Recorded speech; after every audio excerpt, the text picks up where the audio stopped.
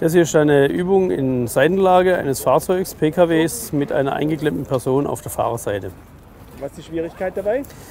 Die Schwierigkeit dabei ist, dass diese Person eingeklemmt ist im Fußraum, also sich nicht selbst befreien kann, äh, hat schwere Verletzungen im Unterschenkel-Knöchelbereich, sodass die Feuerwehr hier angehalten ist, diese Person möglichst schnell zu retten. Das dreht sich hier eigentlich um eine sehr schnelle Aktion, die da durchgeführt werden muss. Das ist eine äh, Crash-Rettung im früheren Sinne oder jetzt um eine Sofortrettung, wie man heute zusagt eher, äh, weil die Person eine relativ äh, schwere Belastung hat. Erstens mal durch die Lage, der Kopf hängt tief, der Kreislauf, die Zirkulation und die Atmung sind gestört. Äh, und dadurch sind die Überlebenszeiten einer Person in dieser misslichen Situation sehr eingeschränkt. Also was wichtig ist bei der Situation ist natürlich das, was eigentlich grundsätzlich den Standardeinsatzregeln entspricht, Absicherung der Unfallstelle und hier vor allen Dingen Stabilisierung des Fahrzeuges, damit das Fahrzeug nicht äh, fällt, also nicht zur Seite stürzt. Das liegt ja im Realfall nicht so wie jetzt stabil, das kann auch sehr instabil liegen. Also muss zunächst mal das Fahrzeug gesichert werden. Und dann ist äh, der nächste wichtige Punkt, der unmittelbar danach erfolgen muss, ist, dass ein innerer Retter da ist, der zum Patienten hineingeht und den stabilisiert in dieser Situation, damit er möglichst lange durchhält. Allgemeinmediziner, habe einige Praxis auf dem Land. Fußraum. Welche Zeitvorgaben müssen wir da berücksichtigen? Der Situation, das wird er nicht lange aushalten vom, vom Herzen her. Was schätzt wie viel das er aushält? Also 10 Minuten ist schon das Maximum. Ja, also das ist durchaus eng. Äh, ihr müsst berücksichtigen, dass ihr 10 Minuten braucht, bis ihr mal am Einsatzort seid. Dann habt ihr noch 10 Minuten, dann sollt ihr auch wirklich schon heraus sein. Das heißt, äh, das, was wir hier haben, ist eigentlich eine Sofortrettung. Ne? Also ein real verletzter Patient, äh, der älteren Datums ist, nicht jung und dynamisch sportlich, äh, hat hier wirklich nur Überlebenschance, wenn er innerhalb einer kurzen Frist von 10, 15 Minuten herausgeholt wird. Das ist das eine. Und das andere ist, dass ihr natürlich, nachdem ihr das Fahrzeug stabilisiert habt, diesen Patienten sofort stabilisieren müsst. Das heißt, der innere Retter, der muss da reingehen und muss diesen Patienten stützen und aus dieser misslichen Lage rausholen.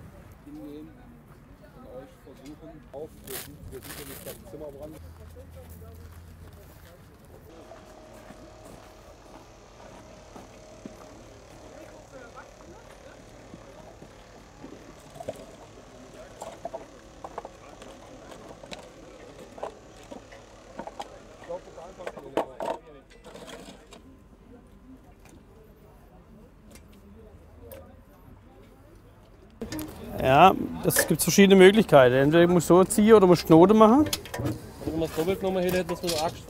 Oder du kannst, Axt, kannst jetzt einen Knoten machen, kannst Axt nehmen und kannst drillen. Oder da kann man den, den Kupplungsschlüssel, den kannst du auch verwenden. Der müsste dahinter liegen.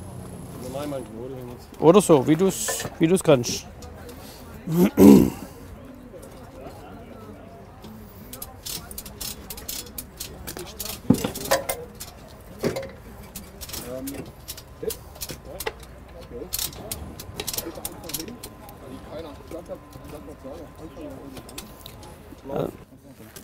Was passiert, wenn du sie vom Gurt ausschneidest? Dann hast du sie. Aber dann hast du sie auch voll und ganz. Dann hast du keine Möglichkeit mehr. Und wenn du weggehst oder nicht mehr kannst, fällt die Puppe oder der Patient einfach in die, ins Auto. Ne? Und? Jetzt nur das Hauptaugenmerk, wir haben es relativ eilig. Ja, da hast du recht. Ja. Trotzdem würde ich warten, bis eine sichere Fixierung des Patienten stattfinden kann. Dann holen wir einen Schlauch und dann die, um die Puppe um. Zum Beispiel, ja. Halt nicht hier, oder? Gäbe es eine Alternative zum Schlauch? Was gibt's? Eine Schleife, Bandschleife. Bandschleife könnte man machen, ja. Hast du, kann man Brett verwenden oder sowas? Ja, das werden wir nicht reinbringen. Wenn man es reinbringt, richtig. Also so wie die Auto aufgingen, dürfen wir es auch aufmachen, Ja, selbstverständlich. Ja, Ihr könnt alles machen. Ja, ja, völlig. Ihr könnt auch die Frontscheibe. Äh ja, Moment, Moment, nee, so, so weit wollen wir nicht gehen. Diese Türe ist verklemmt.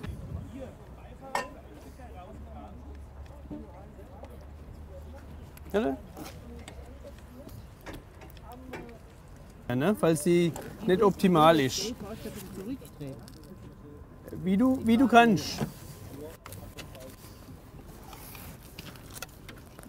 Moment, wenn du den Patienten veränderst, das mit größter Vorsicht. Ne? Das, das, das tust du mit dem Notarzt absprechen.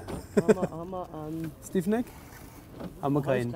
Ja, haben wir keinen. Stiffneck haben wir nicht da, Halskrause haben wir nicht, aber prinzipiell korrekt. Müsste ran oder muss Ja, ran. ja, Ja. Kein, keine Frage.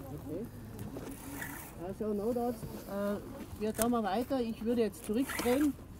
Und dann die Person, Okay. die Person versuchen zu lösen und das. Wir lösen noch nicht. Das ist mir alles noch zu wackelig. Okay. Wir haben, immer noch, wir haben immer noch, die nicht, die sind eingeklemmt, die kriegst du gar nicht frei. Aber kannst du die, pass auf, kannst du das äh, optimieren hier mit dem Brett? Du musst eigentlich äh, Schulter und Becken unterstützen und der Kopf muss halten. Ne? Ist die Frage, wie du kriegst du es optimal hin?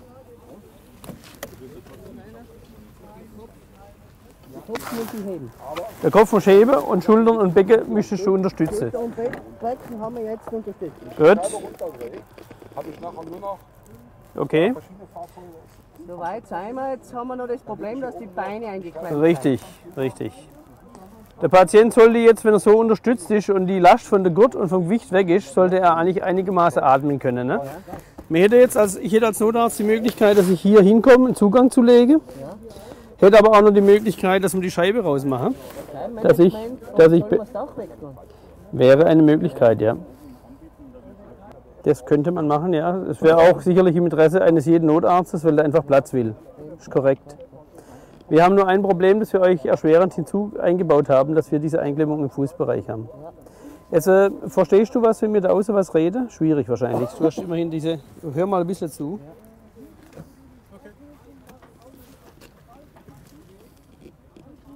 Wie ihr das macht, ist eigentlich im Prinzip egal. Ihr müsst ihn entlasten, ihr müsst ihn unter der Schulter, unter dem Becken entlasten und müsst den Kopf hochhalten. Ne? Weil du kannst den Kopf als Verletzter sowieso äh, in der Position frei nicht so lange halten. Ne? Wenn hier Gasmanagement gemacht wird, selbstverständlich, ja. Keine Frage. Aber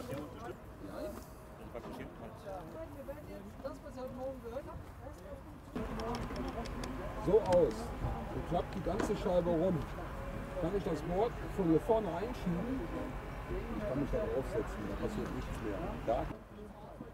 Also würde ich auch von der Also ich, ich leite mal eine aus. Wo ist die Gassäge?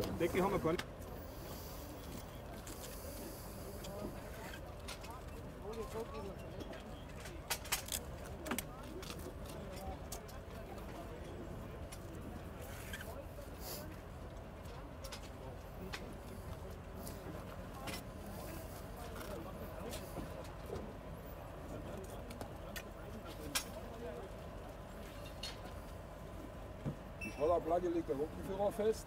Bitte? Die Schrottablage legt der Gruppenführer fest. Ja, wenn die Mannschaft Bescheid weiß, okay.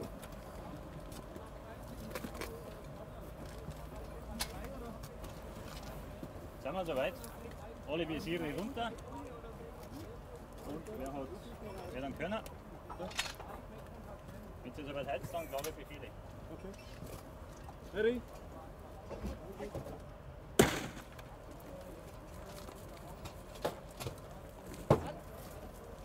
Wunderbar.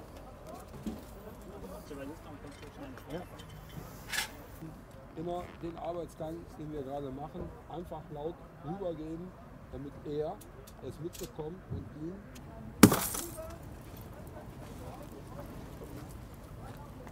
Stopp. Ich will dich nicht ärgern, in keinster Weise. Aber was passiert? Was haben wir für eine Wetterlage? Ist heiß oder warm. So, jetzt gehe ich hin. Die Scheibe ist kaputt. Du wolltest gerade mit deinen Handschuhen unten das Gas rausholen. Ne? Jetzt fängst du an zu schwitzen. Was machst du? Genau.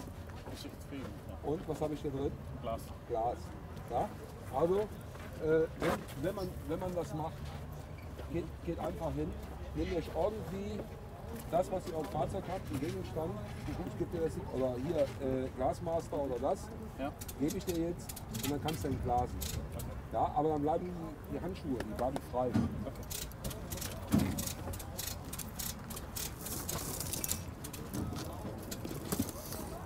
Also wenn ihr das unter dem Zeitaspekt betrachtet, könnt ihr die Körner und liegen lassen, dann ist gut.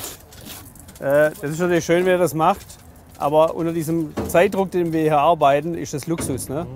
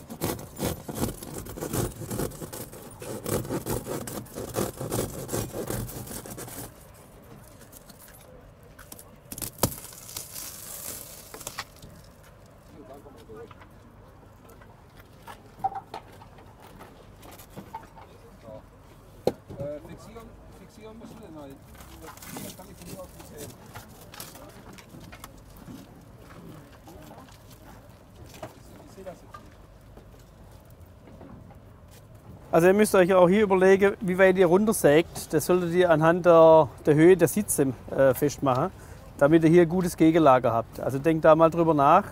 Da hätte man vielleicht, das ist ganz gut worden hier, man hätte vielleicht ein bisschen weiter oben aufhören können. Muss man mal sehen, wie sich das entwickelt. Ne? Der Verunfallt ist jetzt erstmal stabilisiert. Weitere Vorgehensweise. Der Notarzt, der will einen Bodycheck machen. Äh, wo könnte man jetzt noch öffnen? Kannst du doch runterklappen. Ganz nach runterklappen. Okay. Ist eine Maßnahme. Oder halt, sagen wir mal, dass ich erst mal hinkomme, wenn wir vielleicht auch die Möglichkeit haben, mit wenn wir im Steckleiterteile oder vielleicht der Rettungsplattform, dann einfach die obere Tür, je nachdem, was halt natürlich aufgeht, Ja. dass das Verarbeiten ist, einfach dem Auge machen, dass man einen Blick auf den Patienten hat. Okay. Ich hätte gern, das, das wäre jetzt, das wär jetzt die, der zweite Weg gewesen. Ich hätte gerne die Fahrertür, die hätte ich gerne raus.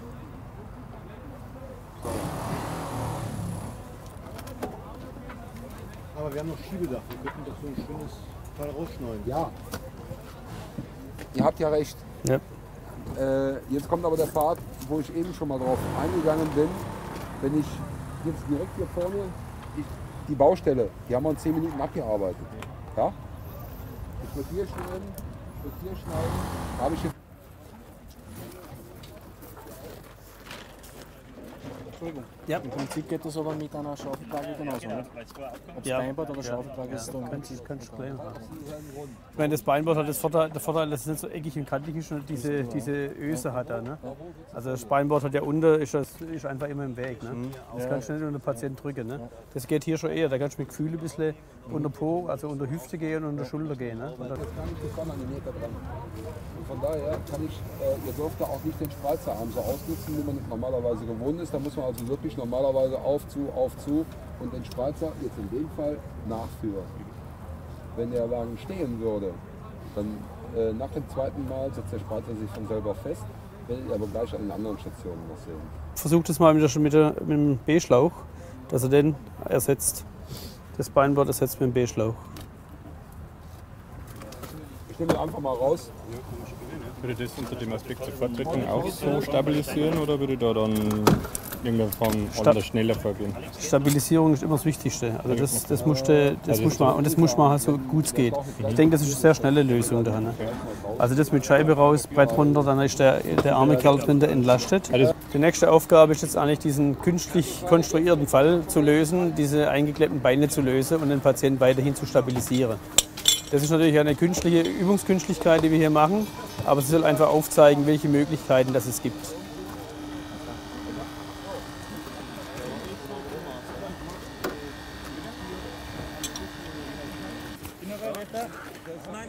Wo möchtest du den B-Schlauch positioniert haben beim Patient? Ja, beziehungsweise unterm Arm. ja.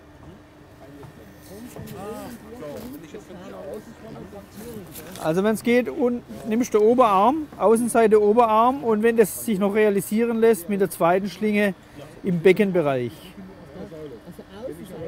Außenseite, ja. Okay. Und den Kopf, den musst du dann weiterhin manuell stützen. Ne? Natürlich im Realfall bitte mit Stiffneck. Ne? Der fällt hier. Macht das jetzt Sinn, wenn wir ins Lenkrad gehen, dass wir, dass wir das Becken schön einfangen? Ja, das kann man ohne weiteres machen. Ja. Dient zur Stab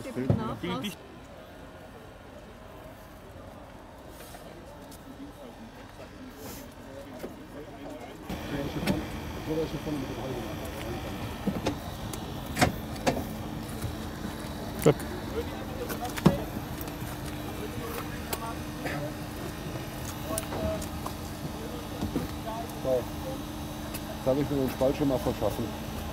Ganz einfach. Das ist, wenn ich im Fensterrahmen noch aufhabe mit dem Spreizer. Kann ich Dann auch machen. Nur jetzt in der Lage. Ja, ich soll schwarz um. wollte ich gerade sagen, ist eigentlich für uns ein bisschen ungünstig. So. Ähm, wenn der Wagen steht, gar keine Frage. Ansonsten gibt es verschiedene Möglichkeiten, wie ihr sagt, kann. Weil hier ist das noch nicht.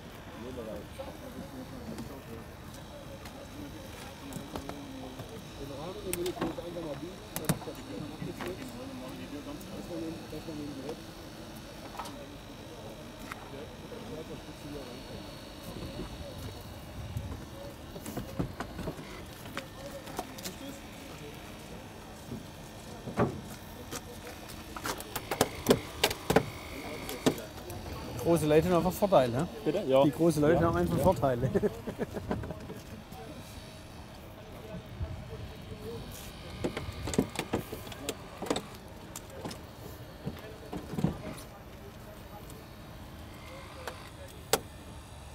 Schweizer Arm nicht ausnutzen. Immer kurz, immer kurz halten bei der Aktion. Aus. Das ist gefährlich, was du machst. Das ist relativ labil. Also geh einmal rum, schling's an. Geh? Ja, oder, oder geh einmal rum da oben um, die, um den Türrahmen, schling's an, dann ist es sicherer. Weil die Tür bewegt sich ja gleich. Ne?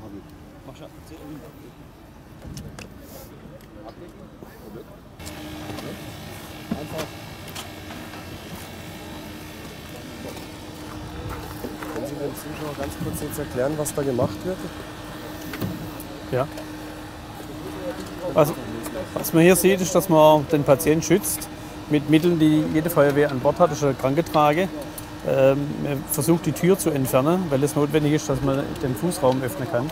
Und natürlich äh, besteht hier die Gefahr, dass entweder äh, der Retter selber, also der Feuerwehrmann selbst oder Teile oder auch das Gerät auf den Patienten stürzt. Es dient einfach der Absicherung des Patienten und gleichzeitig auch als Arbeitsfläche für den Feuerwehrmann selbst. Und auf was muss man jetzt genau aufpassen? Im Grunde genommen muss diese Trage nur gesichert werden und kann dann tatsächlich anstelle einer Plattform verwendet werden. Die kann belastet werden, kann das jeden Feuerwehrmann draufknien, kann darauf arbeiten. Das alle äh, Wehre solche Arbeitsplattformen haben. Ne? Und äh, so Feuerwehrtrage oder äh, Krankentrage hat jeder drauf. Das ist einfach eine Alternativmöglichkeit.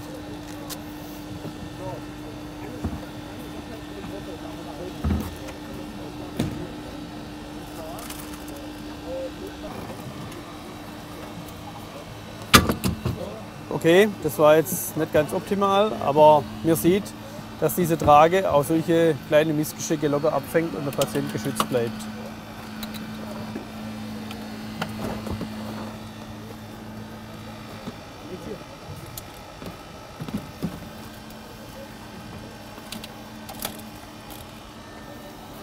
Gib die mal runter.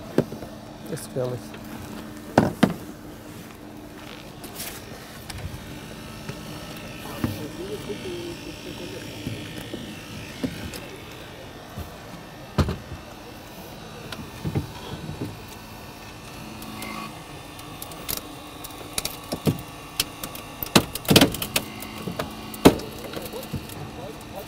Gold geschaffen und hätte von hier ausgedrückt. Sicher, das ist eine Möglichkeit. Nur, ich habe ja eben gesagt, der ist im Fußbereich schwer eingeklemmt. Und wenn man dann von hier vorne drückt, dann sehe ich überhaupt nicht, was mit dem Säulenblatt passiert. Jetzt, wo man quasi von der Seite am Arbeiten sehe ich ganz genau, was mit der Säule passiert, wo die hingeht. Da muss man einfach drauf achten. Weil hat er wirklich da unten nur noch minimal Platz und die fangen an zu drücken unkontrolliert, dann geht die ganzen Sachen da weiter rein und dann ist der Platz komplett weg. Okay, jetzt, weiter.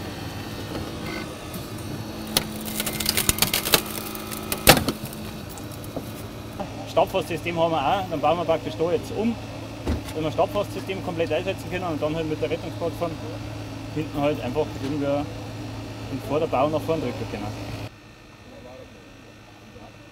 Hast du mitgekriegt, hast du mitgekriegt, was pa- passiert? Also warst du informiert da drin, was Also die Kameraden nicht- außen machen? Nee, wenn ich es vorher nicht gehört hätte, hätte ich jetzt nicht. Also ein bisschen mehr Kommando für dich als Ja, ich habe jetzt Information. vorher gesehen, was was Sache Ja. ist, deshalb habe ich da nicht nachgefragt. Okay, gut. Also dir war der Sachverhalt klar. Ja, nein, Gut. vorher mitgesehen. Okay. Also deine Aufgabe wäre halt im Grunde genommen, wenn das schon so lange dauert, den Kerl zu stabilisieren, in Zusammenarbeit mit dem Notarzt, natürlich die medizinischen Maßnahmen hier mitzuleiten. Ne? Äh, mir kommt jetzt zwischenzeitlich ganz gut an den Patienten ran, mir kann Zugänge legen, mir kann den schlimmstenfalls auch irgendwie äh, notfallmäßig, äh, behelfsmäßig intubieren und beatmen, das ginge alles. Äh, aber er muss natürlich permanent entlastet bleiben, dass er atmen kann, dass die Thoraxbeweglichkeit erhalten bleibt.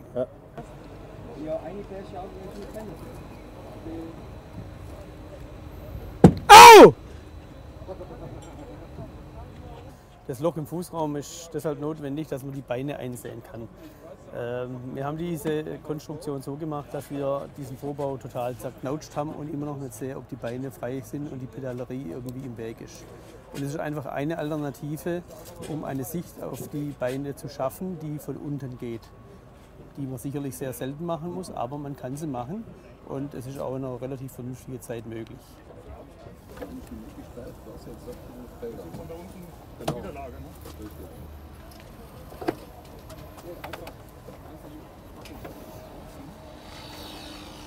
Du möchtest natürlich immer beobachten, ob sich da irgendwas im Fußraum tut. Ne? Er arbeitet jetzt mit dem Spreizer und der Spreizer hat natürlich gewisse Eigenkraft und da kann auch mal vorkommen, dass das nach innen geht. Ne?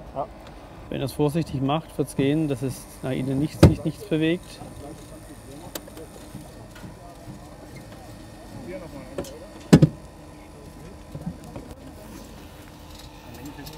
Jetzt nur ein Teppich, oder? Bitte? Da verschlippt es jetzt nur ein Teppich. Also Ja, eigentlich ist genau. das Kind relativ Ja, gut geschützt. ja. So ist es. Also im Prinzip muss man nachher nur noch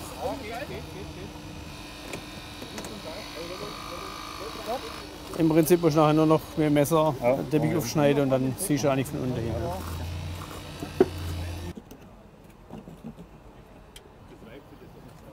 Ja, eigentlich sehr.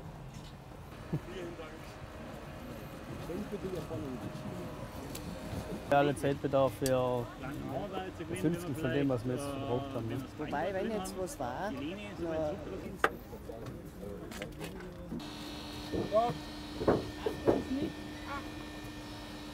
Ja, okay, gut, ja. Er hat es anders überlegt, er sagt, das ist der besser.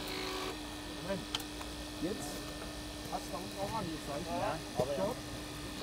Aber ich glaube, entschieden.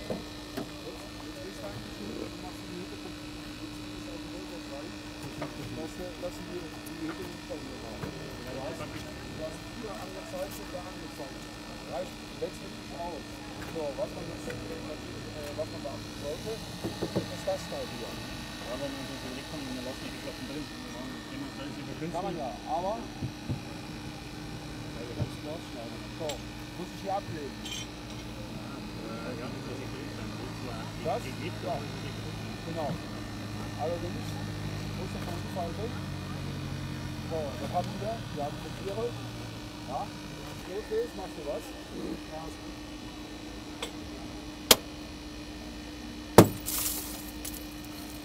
So, wenn du die ganze Sache ein bisschen dezent machst, bleibt die Schale Messer noch stehen. Du weißt, alles ist so viel Zucht Noch Besen.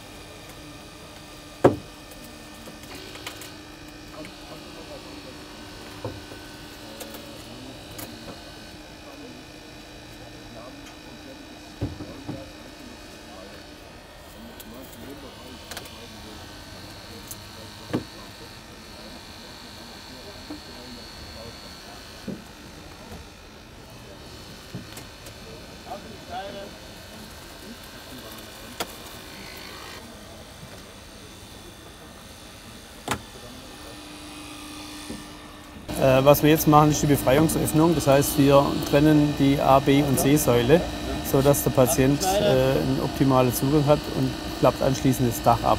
Dann kommt man an den Patient ran und kann ihn letztendlich befreien aus dieser Situation.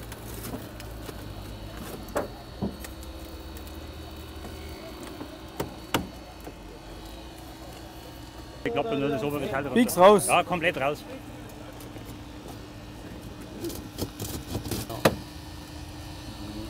Hebt ihr das Dach bitte fest. Drei Leine ans Dach. Drei hat er gesagt. Drei. Drei hat er gesagt. Drei hat er gesagt. Und dann, dann wird sich einig, wann er schon da und dann steckt Jetzt gleichmäßig, ohne Erschütterung, nach unten. Also ich behaupte mal, dass da hinten keine Entlastungsschnitt ist. Ja. Aber. Schutzdecken. Aber so in der roten. Der hat einen Nasenbeinbruch. Da kann ich ja nicht mit dem Daumen da oben drauf drücken. Auch nicht da. So, jetzt könnte man den natürlich da rausholen. Problem ist natürlich, äh, Erstmal da auf die scharfen Kanten hergehen. Ja, korrekt. Und wenn man dann den Patient rettet, wie holen wir ihn heraus? Achsengerecht. Genau. Okay? Das heißt, wir gehen jetzt mit dem Brett unter den Patient, stützen den, bringen das Brett unter den Patient und versuchen den achsengerecht rauszuholen. Achsengerecht heißt, wir verdrehen möglichst die Wirbelsäule nicht, sondern der kommt in der Wirbelsäule komplett. Ob der euch auf die Seite kommt, auf den Rücken kommt oder auf den Bauch kommt, das hängt ganz vom Körpergewicht und Lage ab.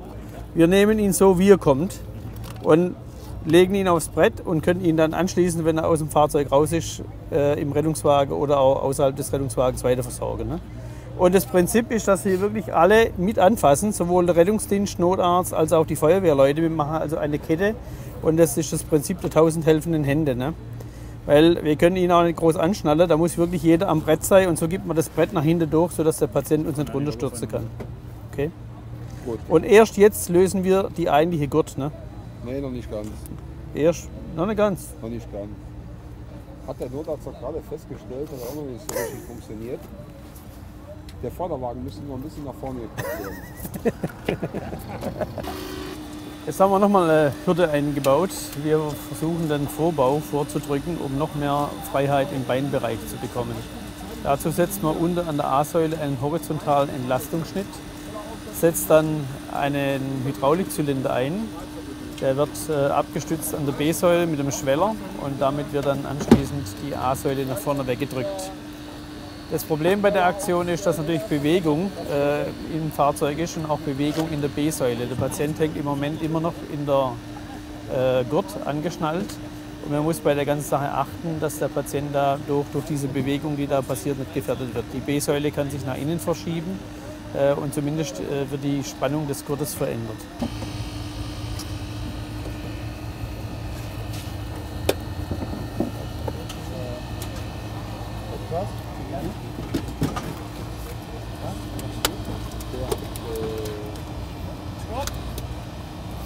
Achtet jetzt mal, was die B-Säule macht, bitte.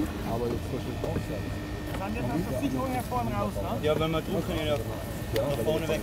Und was der Schlauch macht, genau. Okay, drück mal. Tu mal das weg, dass man da drauf sieht. Jetzt guck mal, was die B-Säule und was der Patient macht. Okay?